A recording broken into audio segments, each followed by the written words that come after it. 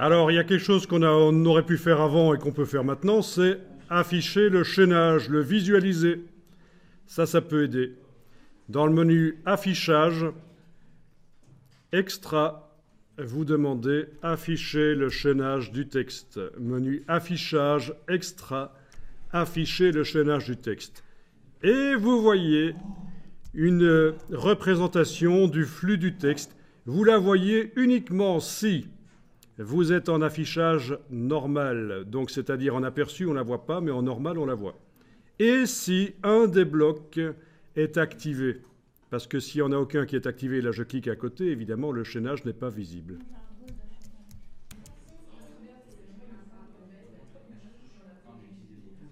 Alors on va faire en sorte que la page 1 n'ait que deux colonnes en divisant le bloc en deux tiers et en mettant une image sur le côté en fond perdu partiel. Voilà. Alors je vous laisse faire, allez-y. Mais enfin, allez, ok, on va le faire ensemble. Je vous sens un peu fébrile aujourd'hui.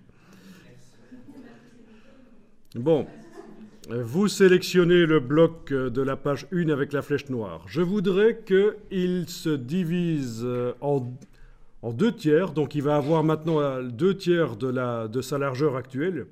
C'est ce que je veux et plus que deux colonnes aussi. Eh bien, pour faire ça, ben, vous avez sélectionné le bloc. Vous voyez euh, sa dimension ici, largeur 884 pixels. Vous avez ça aussi? Bon, peu importe si vous avez même de toute façon quelque chose d'un peu différent. Ça dépend aussi des marges qu'on a choisies. Eh bien, on va diviser. Et ceci, euh, tous les cartouches qu'on voit là sont des calculatrices.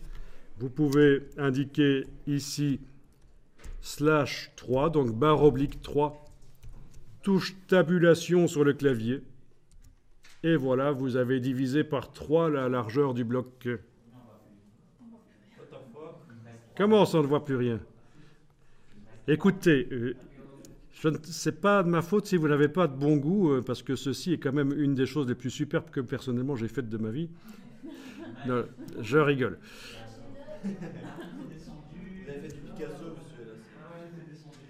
Alors, la suite. Ben, la suite, en fait, on ne peut pas directement indiquer qu'on veut deux tiers. Donc, c'est pour ça que j'ai divisé par 3. Mais maintenant, je vais multiplier par 2.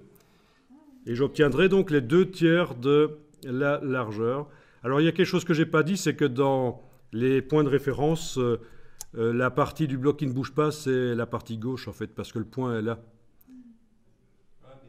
Mais bon, c'était déjà mis comme il faut, parce que je veux mettre une image sur la droite, donc le bloc se rétrécit par la gauche. Ici, je vais taper étoile 3, touche tabulation sur le clavier pour euh, multiplier par 2, euh, par 3, pardon. Voilà. Euh, non, excusez-moi. Par 2, c'est ça que je voulais faire. J'annule. Ah, vous me perturbez avec vos bêtises. Vous n'avez pas apprécié mon œuvre et voilà, je, je fais un caca nerveux.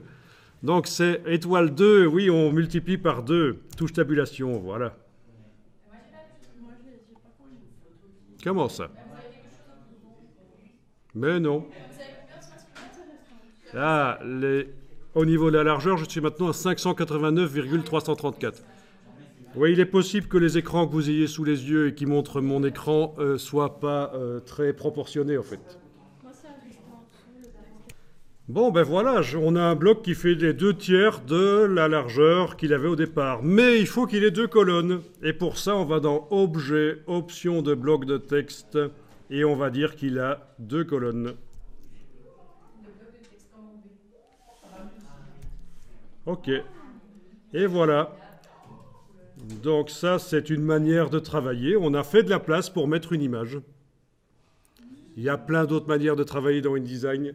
Je, je vous montre ici, hein. ici il faut bien dire c'est un cours super simple euh, en fait, ce qu'on voit ici en 4 ou 5 cours, c'est quelque chose qu'on voit en formation professionnelle en entreprise en 4 euh, heures euh, sur une matinée. donc c'est vraiment ultra basique. Et j'essaye de vous montrer vraiment les choses les plus simples. Voilà. Mais donc, je vous dis, peut-être que quelqu'un qui, qui, voit votre manière de travailler là va dire Mais tu aurais pu faire autrement, blablabla. Bla, bla. Ben oui,